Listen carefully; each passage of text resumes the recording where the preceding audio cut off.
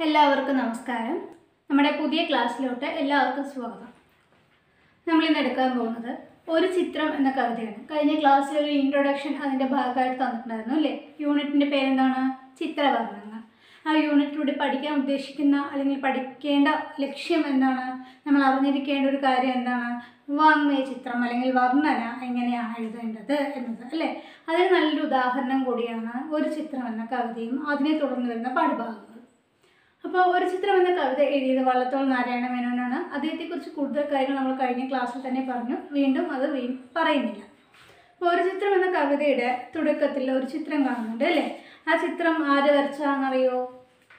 രാജാ രവിവർമ്മയുടെ ചിത്രമാണ്. ഈ രാജാ രവിവർമ്മയുടെ ഈ ഒരു ചിത്രം നിങ്ങൾ ശ്രദ്ധിച്ചോ? അതിൽ എന്തൊക്കെ കാണാൻ പറ്റുന്നുണ്ട് നിങ്ങൾക്ക്? പശുക്കളെ കാണാൻ പറ്റുന്നുണ്ട്. പിന്നെ കണ്ണനെ കാണാൻ പറ്റുന്നുണ്ട്. പകൽ കറക്കുന്ന കണ്ണന്റെ അമ്മ അല്ലെ? അമ്മയെ കാണാനായിട്ട് പറ്റുന്നുണ്ട്. കണ്ണന്റെ കൈകളിൽ കുഞ്ഞു പാത്രം കാണുന്നുണ്ട് അല്ലേ?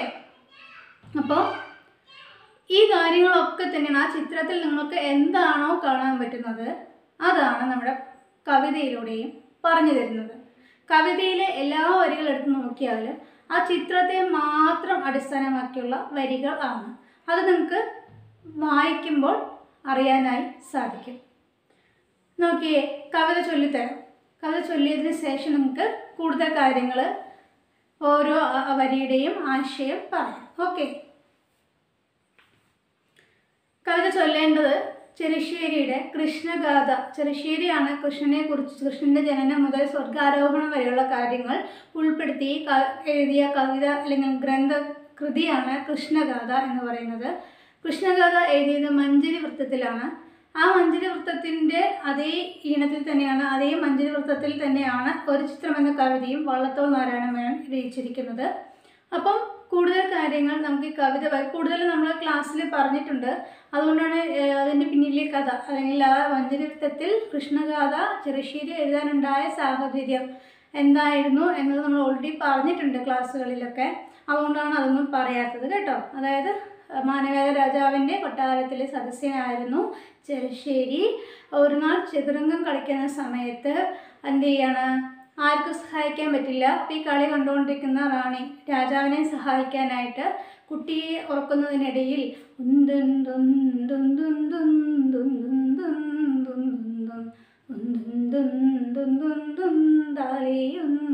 എന്ന് പാടുകയും അതുപ്രകാരം രാജാവ് കാലാളിനെ മുന്നോട്ട് വെച്ച് കളി ജയിക്കുകയും ചെയ്തു. ശേഷം ചെറുശ്ശേരിയോട് ഇതേ ഈണത്തിൽ ഒരു കവിത ആരെക്കുറിച്ച് കൃഷ്ണന്റെ ജനനം മുതൽ സ്വർഗാരോഹണം വരെയുള്ള കാര്യങ്ങൾ ഉൾപ്പെടുത്തി ഒരു കവിത രചിക്കണമെന്ന് ആവശ്യപ്പെട്ടതിനെ തുടർന്ന് ചെറുശ്ശേരി രചിച്ചതാണ് കൃഷ്ണഗാഥ അത് മഞ്ചരി വൃത്തത്തിലാണ് രചിച്ചിരിക്കുന്നത്.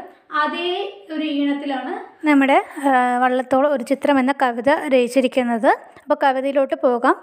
കവിത ചൊല്ലിയതിന് ശേഷം നമുക്ക് ആശയങ്ങൾ നോക്കാം. ഓക്കെ? ഈതോ കൺകോരാൻ കുഞ്ഞിതാ തൻ കുഞ്ഞി കയ്യിൽ ചേറിയ പാൽ പത്രവുമായി പൈനീക്കാലേ കാറന്നിടും മമ്മതൻ മേൻവാലം വശം ചാരി നിൽപ്പൂ. മാതാവോ പൈക്കറ നിർത്തി നിർത്തിമാണിവള വ്രാതമാണിഞ്ഞ വാലത്തു കയ്യാർ പൈതലേ പെത്തുവാണിച്ചു പോ പൂർണനദി പ്രീതയായി കോൾമായിർ കൊണ്ടിടുന്നു. ചേലുറ്റ പാത്രത്തിലമ്മ നാറു ചൂടു പാലും പകർന്നു കൊടുത്തതീനാ ബാലന്റെ ചെന്തൊണ്ടി വായ്മലരിൽ ചെറ്റു പാലഞ്ചും പുഞ്ചിരി തഞ്ചിടുന്നു. താമരത്താരിതൾ പോലെ നേടുതായി. തോമയെഴുതിയ കണ്ണിനായിൽ പ്രേമവും ഹർഷവും ഉൾക്കൊള്ളും ഉണ്ണിതൻ. ഓമനാവക്രമീതെത്ര രമ്യം. എമ്മട്ടെന്നോതുവാനേതും കഴിവില്ല. താമതൂരാനൊന്നു കണ്ട അമ്മയ്ക്കു മാത്രമല്ലാർക്കുമേ ചെന്നെടുത്തുമ്മ വച്ചിടുവാൻ തോന്നുമല്ലോ. കേവല ഭംഗ കോഴുത്തുരുണ്ടുള്ളൂരി പൂവൽ മെയ് പൊന്മൂട്ടൻ പുണ്യവാന്മാർ ലാവണ്യ ദുഃഖം കടഞ്ഞെടുത്തിരിന പൂവിന്നയോ ഇത് തമ്പുരാനേ. സാഹിത്യമഞ്ജരി ഒന്നാം ഭാഗം വള്ളത്തോൾ നാരായണമേനോൻ. ഇപ്പം നോക്കിയേ ഒരു ചിത്രം എന്ന കവിതയിൽ ആദ്യം തന്നെ പറയുന്നത് കവി നീ ഇത് കാണുക നീ ഒന്ന് നോക്കൂ എന്ന് കവി നമ്മളോട് പറയണം. നീ ഇത് കാണുക ഒരു ആൺകുഞ്ഞ് ഒരു ആൺകുഞ്ഞ് തന്റെ കുഞ്ഞി കയ്യിൽ ചെറിയ പാൽപാത്രവുമായിട്ട് നിൽക്കുന്ന. നീ കാണുന്നില്ലേ? എങ്ങനെയാണ് നിൽക്കുന്നത് കുഞ്ഞ്? അതായത് കുഞ്ഞ് എങ്ങനെയാണ് നിൽക്കുന്നത് എന്നതാണ് ആ നാല് വരിയിലൂടെ പറയുന്നത്. എങ്ങനെയാണ് നിൽക്കുന്നത്? പയ്യനെ കാലെ കറന്നിടും അമ്മതൻ മെയ്യൻ വലം വശം ചാരി നിൽക്കൂ. രാവിലെ പുലർച്ചെ പശുവിനെ കടക്കുന്ന കറക്കുന്ന അമ്മയുടെ ശരീരത്തിന്റെ വലംഭാഗം ചാരം നിൽക്കുന്ന ആ കുഞ്ഞിനെ നീയെ ഒന്ന് കാണൂ എന്നാണ് പറയുന്നത്. മനസ്സിലായോ? നീ കാണുക. ഒരാൺകുഞ്ഞിതാ. തന്റെ കുഞ്ഞിക്കൈയിൽ തന്റെ കുഞ്ഞിക്കൈയിൽ ഒരു ചെറിയ പാൽപാത്രവുമായിട്ട് രാവിലെ പുലർവേലയിൽ പശുവിനെ കറക്കുന്ന അമ്മയുടെ വലം വശം ചാരി നിൽക്കുന്നത് കാണുന്നില്ലേ എന്നാണ് ആ നാല് വരിയിലൂടെ പറയുന്നതാണ്. ഈതു കാണുക ഒരു ആൺകുഞ്ഞിതാ തൻ കുഞ്ഞിക്കൈയിൽ ചെറിയ പാൽപാത്രവുമായി പയ്യനെ കാലേ കറന്നിടും അമ്മതൻ മെയ്യൻ വലം വശം ചാരി നിൽപ്പൂ എന്ന് പറയുന്നത് അത് കണ്ടപ്പോൾ മകൻ വന്ന് കുഞ്ഞ് വന്ന് അമ്മയെ ചാരി നിൽക്കുന്നത് കണ്ടപ്പോൾ അമ്മ എന്ത് ചെയ്തു? മാതാവോ എന്ത് ചെയ്തു? പൈക്കറ നിർത്തി പശുവിനെ കറക്കുന്നത് അമ്മ നിർത്തി. എന്നിട്ട് എന്ത് ചെയ്തു? മണിവള വ്രാതം മണിഞ്ഞ വലത്ത് കയ്യാൽ അതായത് വളകളുടെ കൂ വ്രാതം എന്ന് വെച്ചാൽ കൂട്ടം. അപ്പോൾ വളകളുടെ കൂട്ടങ്ങൾ അതായത് ഒരുപാട് വളകൾ അണിഞ്ഞിട്ടുള്ള തന്റെ വലത് കയ്യാൽ. അമ്മ എന്ത് ചെയ്തു? പൈതലെ പേർത്തു മണച്ചു പുണർന്നതി പ്രീതയായി കോൾമയർ കൊണ്ടിടുന്നു. പൈതലെ കുഞ്ഞിനെ എന്ത് ചെയ്തു? ചേർത്ത് അങ്ങനെ പിടിച്ചു. ചേർത്ത് പിടിച്ച് ആലിംഗനം ചെയ്തു. എന്നിട്ട് എന്ത് ചെയ്തു? അതിൽ സന്തോഷം കണ്ടെത്തുകയാണ്. അതിൽ ആനന്ദം കണ്ടെത്തുകയാണ്. അത് കുഞ്ഞിനെ ഇങ്ങനെ ചേർത്ത് പിടിച്ചതിൽ ആനന്ദം കണ്ടെത്തുന്നു. അതായത് പാൽ വേണമെന്ന് പറഞ്ഞ് അമ്മയുടെ അരികിൽ ചെന്ന് നിൽക്കുന്ന ആ കുഞ്ഞിനെ കണ്ടപ്പോൾ അമ്മ പശുവിനെ കറക്കുന്ന നിർത്തി തിരിഞ്ഞ് തന്റെ കൈകളാൽ ആ കുഞ്ഞിനെ വാരി പുണർന്ന് അതിൽ ആനന്ദം കണ്ടെത്തി നിൽ- നിൽക്കുന്നതാണ് നമുക്കവിടെ കാണാനായിട്ട് സാധിക്കുന്നതാണ് ആ പൈതലെ പേർത്തു മണച്ച് പുണർന്നതി പ്രീതയായി കോൾമയിർ കൊണ്ടിടുന്നു എന്ന് പറയുന്നത്. അതിനുശേഷം അമ്മ എന്ത് ചെയ്യാണ്? തന്റെ പാത്രത്തിലെ ആ നറുചൂട് പാൽ തന്റെ കുഞ്ഞിന്റെ കയ്യിലെ പാത്രത്തിലോട്ട് പകർന്നു കൊടുക്കുകയാണ്. അതാണ് അടുത്ത വരികൾ പറയുന്നത്. ചേലിറ്റ പാത്രത്തിൽ അമ്മ നറുചൂട് പാലും പകർന്നു കൊടുത്തതിനാൽ ബാലന്റെ ചെന്തൊണ്ടി വായമലരിൽ ചെറ്റു പാലഞ്ചും പുഞ്ചിരി തഞ്ചിടുന്നു. അതായത് ചേലുറ്റ പാത്രത്തിൽ അഴകുള്ള ആ പാത്രത്തിൽ അമ്മ തന്റെ കയ്യിലെ നറുചൂട് ചെറിയ നമ്മൾ പാൽ കറന്നു കഴിഞ്ഞു വെച്ചാൽ ചെറിയൊരു ചൂട് കാണും അല്ലേ? പുതിയ പാലായതുകൊണ്ട്. അപ്പോൾ ആ പുതിയ പാൽ ചൂടുപാൽ എന്ത് ചെയ്തു? അതോട് കൂടിയിട്ട് കുഞ്ഞിന്റെ പാത്രത്തിൽ അഴകുള്ള ആ പാത്രത്തിൽ അമ്മ പകർന്നു കൊടുത്തതിനാൽ കൊടുത്തു. അതുകൊണ്ട് എന്തുണ്ടായി? ബാലന്റെ ചെന്തൊണ്ടി വായ്മലരിൽ ചെറ്റു പാലഞ്ചു പുഞ്ചിരി തഞ്ചിടുന്നു. അതായത് കുഞ്ഞിന്റെ പാത്രത്തിൽ അമ്മ പാൽ പകർന്നു കൊടുത്തപ്പോൾ കുഞ്ഞിന്റെ മുഖത്ത് ഉണ്ടായ ഭാവ വ്യത്യാസം എന്താണ്? ബാലന്റെ ചെന്തൊണ്ട് ചെന്തൊണ്ട് എന്ന് വെച്ചാൽ തൊണ്ടിപ്പഴം. ചുവന്ന തുടുത്ത പഴമാണ് അപ്പോൾ ആ തൊണ്ടിപ്പഴം പോലെയുള്ള വായ് കുഞ്ഞുങ്ങളുടെ മുഖവും ചുണ്ടും കാണാനായിട്ട് എങ്ങനെയാണ് നല്ല ചുവന്ന് തുടുത്തിരിക്കും അല്ലേ? അപ്പോൾ അതുപോലെ തന്നെയാണ് കണ്ണിന്റെ മുഖം കാണാനും. അപ്പോൾ അത് തന്നെയാണ് കുഞ്ഞിന് പാൽ പകർന്നു കൊടുത്തപ്പോൾ അമ്മയ്ക്ക് കാണാൻ സാധിക്കുന്നതും. ബാലന്റെ ചെന്തൊണ്ടി വായ്മലരിൽ ചെറ്റു പാലഞ്ചും പുഞ്ചിരി തഞ്ചിടുന്നു. അങ്ങനെ തൊണ്ടിപ്പഴം പോലെയുള്ള വായ്മലരിൽ എന്ത് ചെയ്തു? ചെറ്റും അല്പം പാലിനെ പോലും തോൽപ്പിക്കുന്ന പുഞ്ചിരി തങ്ങി നിൽക്കുന്നത് കാണാനായിട്ട് അമ്മയ്ക്ക് സാധിച്ചു. പാൽ പാത്രത്തിൽ പകർന്ന് കൊടുത്തപ്പോൾ. അതായത് പാൽപാത്രവുമായിട്ട് വന്ന തന്റെ കുഞ്ഞിന്റെ ആ ഭംഗിയുള്ള പാത്രത്തിൽ അമ്മ ആ നറുചൂട് പാൽ പകർന്നു കൊടുത്തപ്പോൾ കുഞ്ഞിന്റെ മുഖം കാണാൻ എങ്ങനെയുണ്ടായിരുന്നു? അവന് വളരെയധികം സന്തോഷമാവുകയും ആ സന്തോഷം അവന്റെ ചുണ്ടുകളിലൂടെ കാണാനായി സാധിച്ചു. ആ പുഞ്ചിരി കണ്ടപ്പോൾ അമ്മയ്ക്ക് തൊണ്ടിപ്പഴം പോലുള്ള ആ വായികളിൽ നിന്നും ഉണ്ടായിട്ടുള്ള പുഞ്ചിരി കണ്ടപ്പോൾ അത് എന്തുപോലെ തോന്നി? പാലിനെ പോലും തോൽപ്പിക്കുന്ന പുഞ്ചിരിയായിട്ടാണ് അമ്മയ്ക്ക് അനുഭവപ്പെട്ടത്. പാൽ വളരെ നൈർമല്യമുള്ളതും വെണ്മയുള്ളതുമാണ് അല്ലേ ആ നൈർമല്യവും വെണ്മയെയും തോൽപ്പിക്കുന്ന തരത്തിലുള്ളൊരു പുഞ്ചിരിയായിരുന്നു കുഞ്ഞിന്റെ മുഖത്ത് കാണാനായിട്ട് സാധിച്ചത്. അതിനുശേഷം മുഖത്ത് നോക്കിയ അമ്മയ്ക്ക് പിന്നീട് എന്തൊക്കെ തോന്നി? അവന്റെ കണ്ണുകളെ എങ്ങനെയാണ് തോന്നുന്നത്? എന്നാണ് അടുത്ത വരിയിൽ പറയുന്നത്. അതായത് പാൽ പകർന്നു കൊടുത്തപ്പോൾ അവന്റെ പുഞ്ചിരി നല്ല നല്ലൊരു പുഞ്ചിരിയായിരുന്നു അല്ലേ? ആ പുഞ്ചിരി എങ്ങനെയുള്ളതായിരുന്നു? പാലിനെ പോലും തോൽപ്പിക്കുന്നതായിരുന്നു. തുടർന്ന് അവന്റെ മുഖത്ത് നോക്കിയപ്പോൾ അമ്മയ്ക്ക് എന്താ തോന്നിയത്? താമരത്താരുതൽ പോലെ നെടുതായി തൂമ എഴുതിയ കണ്ണിണയിൽ പ്രേമവും ഹർഷവും ഉൾക്കൊള്ളും ഉണ്ണിതൻ നോമന വക്രം ഇതെത്ര രമ്യം. അതായത് താമരയുടെ ഇതളുകൾ പോലെ നെടുതായി തൂമയി എഴുതിയ കണ്ണിനിൽ നിതളുകൾ പോലെ മനോഹരമായി എഴുതിയ ആ കണ്ണിണയിൽ എന്തുകൂടെ കാണാൻ പറ്റിയ അമ്മയ്ക്ക്? പ്രേമവും ഹർഷവും ഉൾക്കൊള്ളും ഉണ്ണിതൻ നോമന വക്ത്രമിതെത്ര രമ്യം. പ്രേമവും സ്നേഹവും സന്തോഷവും ഒക്കെ ആ കുഞ്ഞിന്റെ കണ്ണുകളിൽ കാണാനായിട്ട് സാധിച്ചു. ആ കണ്ണുകൾ ഉൾപ്പെടുന്നതാണ് മുഖം അല്ലേ വക്രം എന്ന് വെച്ചാൽ മുഖം.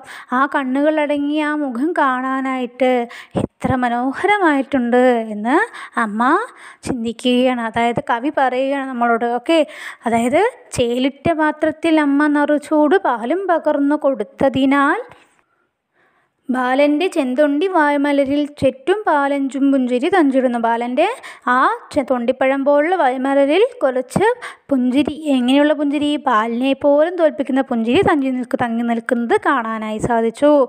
തുടർന്ന് ആ കണ്ണുകൾ എങ്ങനെയുള്ളതാണ്? താമരയുടെ ഇതളുകൾ പോലുള്ള കണ്ണുകളിൽ ആ മയ്യെഴുതിയ കണ്ണിണയിൽ കാണുന്ന പ്രേമ സ്നേഹവും സന്തോഷവും ഒക്കെ കാണാൻ പറ്റും. അതൊക്കെ ഉൾപ്പെടുന്ന ആ മുഖം കാണുവാൻ ഓമനമ ഓമനത്തിൽ തുളുമ്പുന്ന ആ വക്ത്രം വക്ത്രം മുഖം മുഖം കാണുമ്പോൾ എത്ര മനോഹരമായിട്ടുണ്ട് എന്നാണ് പറയുന്നത്. ആ മനോഹരമായ മുഖം കാണാൻ അല്ലെങ്കിൽ ആ മഹാ മനോഹാരിത എത്രത്തോളമാണെന്ന് വാക്കുകൾ കൊണ്ട് വർണിക്കാൻ പറ്റില്ല അതിനും അപ്പുറമാണ് ആ ഭംഗി എന്നാണ് അടുത്ത വരികൾ പറയുന്നത്.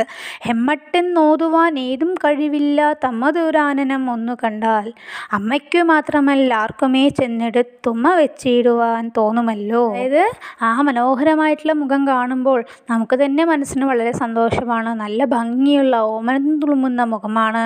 ആ മുഖം കണ്ടു കഴിഞ്ഞാൽ എങ്ങനെയുള്ള മനോഹാരിത എത്രത്തോളമാണ് ഭംഗി എന്നത് ആർക്കും ഓതുവാൻ പറയുവാൻ കഴിയില്ല. കാരണം അത്രയും മനോഹരമാണ്. അത് ആനനം അതായത് ആനനം എന്ന് വെച്ചാലും മുഖമാണ്. ആ മധുരമായ മുഖം കണ്ടു കഴിഞ്ഞാൽ അതിന്റെ ഭംഗി എത്രത്തോളമാണെന്ന് വാക്കുകൾ കൊണ്ട് പറയാൻ പറ്റില്ല. കാരണം വാക്കുകൾക്കും അതീതമാണ് ആ മനോഹാരിത എന്നാണ് പറയുന്നത്. അങ്ങനെയുള്ള മനോഹ നോമനത്വം തുളുമ്പുന്ന മനോഹരമായിട്ടുള്ള ആ മുഖം കണ്ടു കഴിഞ്ഞാൽ അമ്മയ്ക്ക് മാത്രമല്ല സ്വന്തം അമ്മയ്ക്ക് മാത്രമല്ല ആർക്കാണെങ്കിലും ചെന്നെടുത്ത് ഒന്ന് ഉമ്മ വയ്ക്കുവാൻ തോന്നും. കാരണം അത്രയും മോമനത്തും തുളുമ്പുന്ന അത്രയും ഭംഗിയുള്ള ഒരു മുഖമാണ് കണ്ണന്റേത് എന്നാണ് പറയുന്നത്. അത് മാത്രമാണോ? അത് മാത്രമല്ല. എന്താണ്? കേവല ഭംഗ്യാ കൊഴുത്തുരുണ്ടുള്ളൊരു പൂവൽ മെയ് പൂൺമോതാൻ പുണ്യവാന്മാർ കേവലമായ ആ ഭംഗി നല്ല ഭംഗിയുള്ള ആ കൊഴുത്തുരുണ്ട ആ ശരീരം പൂവൽ മെയ് പൂപോലുള്ള ശരീരം പൂൺമോറാൻ പുണരുന്നവർ പുണ്യവാന്മാർ അതായത് പൂപോലെയുള്ള ആ കണ്ണന്റെ ശരീരത്തെ പുണരുന്നവർ പുണ്യം ചെയ്തവൻ ചെയ്തവരാണ്. കാരണം ആ പുണർന്നു കഴിഞ്ഞാൽ കണ്ണിന്റെ ശരീരത്തെ പുണർന്നു കഴിഞ്ഞാൽ നമുക്ക് എന്ത് തോന്നും? ലാവണ്യ ദുഃഖം കടഞ്ഞെടുത്തീടിന തൂവെണ്ണയോ ഇത് തമ്പുരാൻ ദുഃഖം എന്ന് വെച്ചാൽ പാൽ. പാലെന്ന് വെച്ചാൽ നൈർമല്യവും വെണ്ണയുള്ളതുമാണ് അല്ലേ? അപ്പോൾ ആ പാൽ ശുദ്ധമാണ്. ശുദ്ധമായ ആ പാൽ കടഞ്ഞെടുത്തിട്ടാണ് നമ്മൾ എന്തുണ്ടാക്കുന്നത്? വെണ്ണ ഉണ്ടാക്കുന്നത്. ശുദ്ധമായ പാലിൽ നിന്ന് കിട്ടുന്ന വെണ്ണയ്ക്കും ശുദ്ധതയേറും അല്ലേ? അതുമാത്രമല്ല അത് നല്ല മിനുസമുള്ളതും നൈർമല്യമുള്ളതും ഒക്കെയാണ്. അതുപോലെയാണ് കണ്ണന്റെ ശരീരവും എന്ന് നമുക്ക് തോന്നിപ്പോകും എന്നാണ് കവിയുടെ പറയുന്നത്. ഓമനത്തം തുളുമ്പുന്ന മുഖത്തെക്കുറിച്ച് വർണിക്കാൻ വാക്കുകളില്ല. വാക്കുകൾക്കും അതീതമാണ് ആ ഭംഗി. അങ്ങനെയുള്ള ഓമനത്തം തുളുമ്പുന്ന മത മനോഹരമായിട്ടുള്ള മുഖം കണ്ടു കഴിഞ്ഞാൽ ആർക്കും ചെന്നെടുത്ത് ഉമ്മ വയ്ക്കുവാൻ തോന്നും ആ കണ്ണനെ എന്നാണ് പറയുന്നത്. അതുമാത്രമല്ല ആ ഭംഗിയുള്ള കൊഴുത്തിരുണ്ടിട്ടുള്ള ആ ശരീരം പൂപോലുള്ള ശരീരം പൂ പുണരുന്നവർ ഭാഗ്യം ചെയ്തവരാണ്. അങ്ങനെ പുണർന്നു കഴിഞ്ഞാൽ നമുക്കറിയാം പാലിൽ നിന്നും കടഞ്ഞെടുത്ത വെണ്ണ പോലെ വെണ്ണ എങ്ങനെയാണോ അതുപോലെയാണോ കടഞ്ഞെടുത്ത വെണ്ണയാണോ ഇത് എന്ന് നമുക്ക് തോന്നിപ്പോകും കണ്ണന്റെ ശരീരത്തെ പുണർന്നു കഴിഞ്ഞാൽ എന്നാണ് പറയുന്നത്. ഇത് പാലിൽ നിന്ന് കടഞ്ഞെടുത്ത വെണ്ണയാണോ ഇത് എന്ന് കണ്ണിനെ നമുക്ക് തോന്നിപ്പോകും. അത്രയും മൃദുലവും മിനുസവുമായിട്ടുള്ളതാണ് എന്ത്? കണ്ണന്റെ ശരീരവും എന്നാണ് ഇവിടെ കവി പറയുന്നത്. അതായത് ഒന്നുകൂടെ പറയാം. അതായത് എന്താ പറയുന്നത്? ആദ്യം തന്നെ കവി പറയണത് നീയൊന്ന് കാണു കാണൂ. ഒരാൺകുഞ്ഞ് തന്റെ കുഞ്ഞി കയ്യിൽ ചെറിയ പാൽപാത്രവുമായിട്ട് നിൽക്കുന്നുണ്ട്. എവിടെ നിൽക്കുന്നു? പുലർക്കാലയിൽ പുലർവേളയിൽ പാലിനെ കറക്കുന്ന പശുവിനെ കറക്കുന്ന അമ്മയുടെ വലം വശം ചാരി നിൽക്കുന്ന ഒരു കുഞ്ഞിനെ നീ ഇവിടെ കാണുന്നില്ലേ? എങ്ങനെ കയ്യിൽ പാത്രവുമായി നിൽക്കുന്ന കുഞ്ഞിനെ നീ ഇവിടെ കാണുന്നില്ലേ എന്ന് പറയുന്നു. എന്നിട്ട് എന്താണ് ആ കുഞ്ഞിനെ കണ്ടതും അമ്മ എന്ത് ചെയ്യാണ്? മാതാവ് പൈക്കറ നിർത്തി പശുവിനെ കരക്കുന്ന നിർത്തിയിട്ട് വളകളണിഞ്ഞ വളക്കൂട്ടങ്ങൾ അണിഞ്ഞിട്ടുള്ള തന്റെ കലത് കൈകൊണ്ട് ആ കുഞ്ഞിനെ പൈതലിനെ ചേർത്ത് പിടിച്ച് പുണർന്ന് അതിൽ സന്തോഷവും ആനന്ദവും കണ്ടെത്തുന്ന അമ്മയെ നമുക്കവിടെ കാണാനായിട്ട് പറ്റുന്നു. അങ്ങനെയുള്ള അമ്മ എന്ത് ചെയ്യാണ് പിന്നീട്? കുഞ്ഞിന്റെ ചേലുറ്റ പാത്രത്തിൽ മഴകുള്ള ആ ഭംഗിയുള്ള പാത്രത്തിൽ അമ്മ നിറചൂട് പാൽ പകർന്നു കൊടുത്തപ്പോൾ ബാലന്റെ ചുണ്ടിൽ എന്തുണ്ടായി? പുഞ്ചിരി വിടർന്നു. ആ എങ്ങനെയുള്ള വായിൽ? തൊണ്ടിപ്പഴം പോലുള്ള വായികളിൽ പുഞ്ചിരി വിടർന്നു ചുണ്ടുകളിലൂടെ പുഞ്ചിരി വിടർന്നു. ആ പുഞ്ചിരി പാലിനെ പോലും തോൽപ്പിക്കുന്നതായിരുന്നു. അതാണ് പാലഞ്ചും പുഞ്ചിരി തഞ്ചിടുന്നു തങ്ങി നിൽക്കുന്നു. താമര താ എന്നിട്ട് മുഖം നോക്കി അമ്മയ്ക്ക് പിന്നെ കാണാൻ പറ്റുന്നതാണ്. താമരയുടെ ഇതളുകൾ പോലെയുള്ള ആ കണ്ണുകളിൽ നെടുതായി തൂമയെഴുതിയ കണ്ണിണയിൽ ആ എന്ത് കാണാൻ പറ്റി? സ്നേഹവും സന്തോഷവും ഒക്കെ കാണാൻ പറ്റി. ആ സ്നേഹവും സന്തോഷവും ഒക്കെ ഉൾക്കൊള്ളുന്ന ആ കുഞ്ഞിന്റെ മുഖം കാണാൻ എത്ര ഭംഗിയാണ്. ആ ഭംഗിയെ നമുക്ക് വാക്കുകൾ കൊണ്ട് വർണിക്കാനായി സാധിക്കില്ല. കാരണം വാക്കുകൾക്ക് അതീതമാണ് കണ്ണിന്റെ മുഖത്തിന്റെ ആ ഭംഗി എന്ന് പറയുന്നതാണ് ആനനം. ആന എന്ന് വെച്ചാൽ മുഖമാണ് കേട്ടോ. അപ്പോൾ ആ ഭംഗിയുള്ള മുഖം കണ്ടു കഴിഞ്ഞാൽ അമ്മയ്ക്ക് മാത്രമല്ല ആർക്ക് വേണമെങ്കിലും ചെന്നെടുത്ത് ഉമ്മ വയ്ക്കുവാൻ തോന്നും.